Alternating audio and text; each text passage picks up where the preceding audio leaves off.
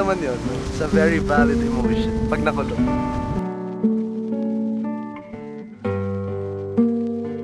Sige, mag-blessing ka lang. Sa free world.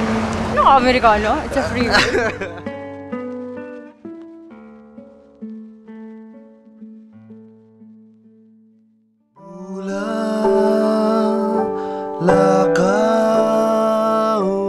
Alam mo, kapakasal na kayo ng boyfriend mo. Sudden turn of events. Wala rin. Namamatay din pala. yun.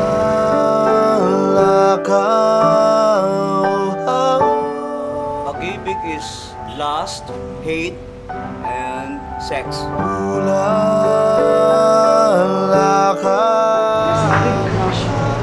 Ako? Yun nagkaka-crush eh. Bawal sa religion ko yun.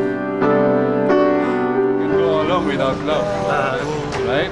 You want to be serious, involved in between O masyado lang silang mabilis